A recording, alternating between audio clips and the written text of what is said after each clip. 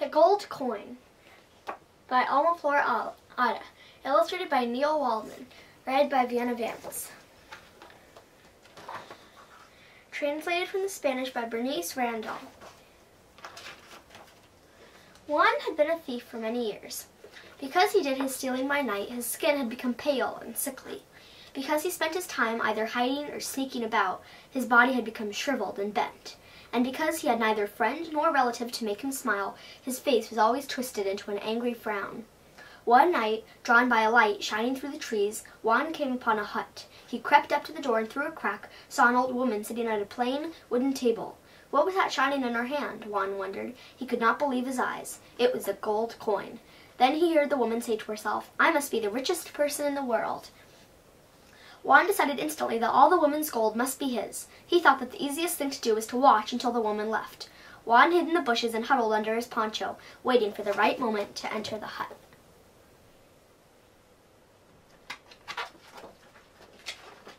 Juan was half asleep when he heard knocking at the door and the sound of insistent voices. A few minutes later he saw the woman, wrapped in a black cloak, leave the hut with two men at her side. Here's my chance, Juan thought, and forcing open a window he climbed into the empty hut. He looked about eagerly for the gold. He looked under the bed. It wasn't there. He looked in the cupboard. It wasn't there either. Where could it be? Close to despair, Juan tore away some beams supporting the thatch roof. Finally, he gave up. There was simply no gold in the hut. All I can do, he thought, is to find the old woman and make her tell me where, he, where she's hidden it. So he set out along the path that she and her two companions had taken.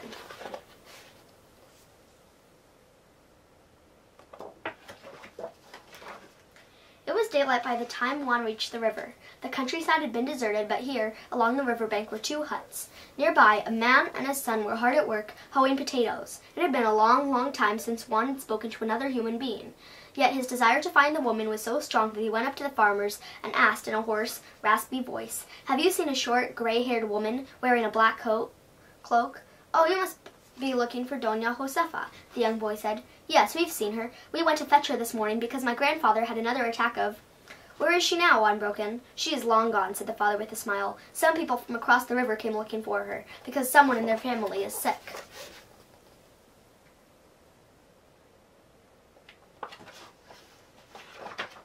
How can I get across the river? Juan asked anxiously. Only by boat, the boy answered. We'll row you across later if you'd like. Then, turning back to his work, he added, But first we must finish digging up the potatoes. The thief muttered, Thanks, but he quickly grew impatient. He grabbed a hoe and began to help the pair of farmers. The sooner we finish, the sooner we'll get across the river, he thought, and the sooner I'll get to my gold. It was dusk when they finally lay down their hoes. The soil had been turned and the wicker baskets were brimming with potatoes. Now can you row me across? Juan asked the father anxiously. Certainly, the man said, but let's eat supper first. Juan had forgotten the taste of a home-cooked meal and the pleasure that comes from sharing it with others. As he sopped up the last of the stew with a chunk of dark bread, memories of other meals came back to him from far away and long ago.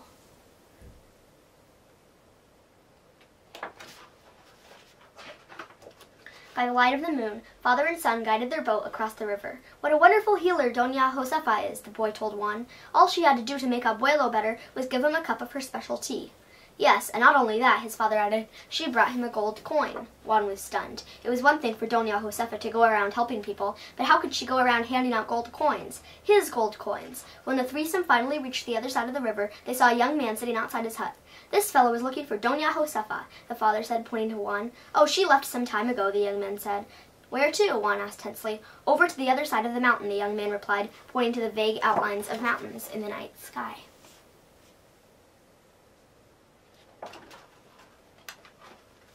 How did she get there? Juan asked, trying to hide his impatience. By horse, the young man answered. They came on horseback to get her because someone had broken his leg. Well, then, I need a horse, too, Juan said urgently. Tomorrow, the young man replied softly. Perhaps I can take you tomorrow, maybe the next day. First, I must finish harvesting the corn. So Juan spent the next day in the fields, bathed in sweet bathed in sweat from sun up to sundown. Yet each ear of corn that he picked seemed to bring him closer to his treasure.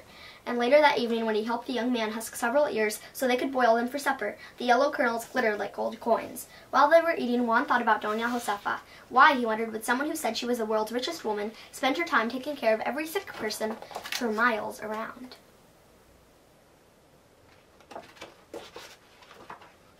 The following day, the two set off at dawn. Juan could not recall when he last had noticed the beauty of the sunrise. He felt strangely moved by the side of the mountains, barely lit by the faint rays of the morning sun. As they neared the foothills, the young man said, I'm not surprised you're looking for Dona Josefa. The whole countryside needs her. I want I went for her because my wife had been running a high fever. In no time at all, Dona Josefa had her on the road to recovery. And what's more, my friend, she brought her a gold coin. Juan groaned inwardly. To think that someone could hand out gold so freely. What a strange woman Dona Josefa is, Juan thought. Not only is she willing to help one person after another, but she doesn't mind traveling all over the countryside to do it. Well, my friend, said the young man finally, this is where my I must leave you. But you don't have far to walk. See that house over there? It belongs to the man who broke his leg.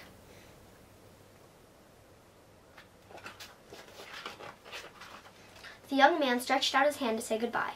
Juan stared at it for a moment. It had been a long, long time since the thief had shaken hands with anyone.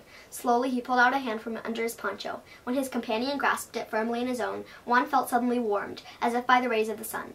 But after he thanked the young man, Juan ran down the road. He was still eager to catch up with Dona Josefa. When he reached the house, a woman and a child were stepping down from a wagon. Have you seen Dona Josefa? Juan asked. We've just taken her to Don Teodosios, the woman said. His wife is sick, you know. How do I get there? Juan broke in. I've got to see her. It's too far to walk, the woman said amiably. If you'd like, I'll take you there tomorrow. But first, I must gather my squash and beans.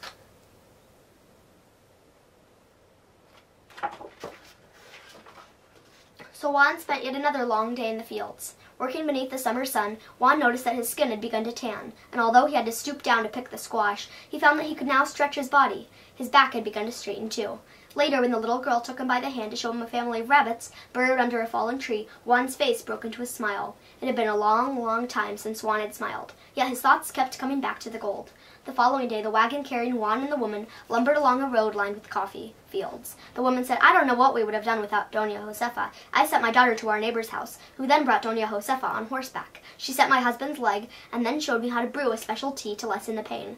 Getting no reply, she went on. And as and as if that weren't enough, she brought him a gold coin. Can you imagine such a thing?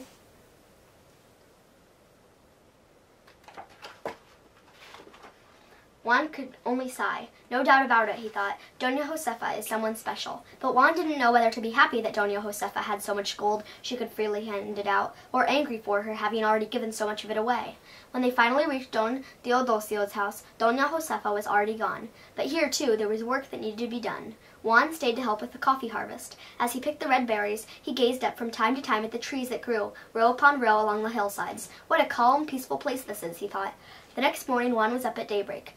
Bathed in the soft dawn light, the mountain seemed to smile at him. When Don Teodosio offered him a lift on horseback, Juan found it difficult to have to say goodbye. What a good woman Dona Josefa is, Don Teodosio said as they rode down the hill toward the sugar-cane fields.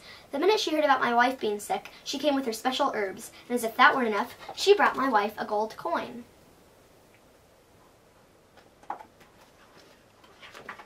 In the stifling heat, the kind that often signals the approach of a storm, Juan simply sighed and mopped his brow. The pair continued riding for several hours in silence. Juan then realized he was back in familiar territory, for they were now on the stretch of road he had traveled only a week ago, though how much longer it now seemed to him. He jumped off Don Teodosio's horse and broke into a run.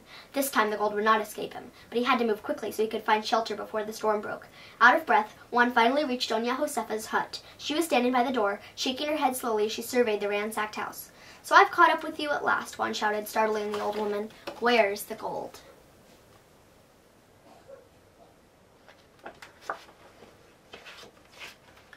The gold coin? Dona Josefa said, surprised and looking at Juan intently. Have you come for the gold coin? I've been trying hard to give it to someone who might need it, Dona Josefa said. First to an old man who had just gotten over a bad attack, then to a young woman who had been running a fever, then to a man with a broken leg, and finally to Don Teodosio's wife. But none of them would take it. They all said, Keep it. There must be someone who needs it more. Juan did not say a word.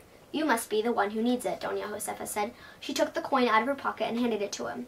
Juan stared at the coin, speechless. At that moment a young girl appeared, her long braid bouncing as she ran. Hurry, Dona Josefa, please, she said breathlessly. My mother is all alone and the baby is due any minute.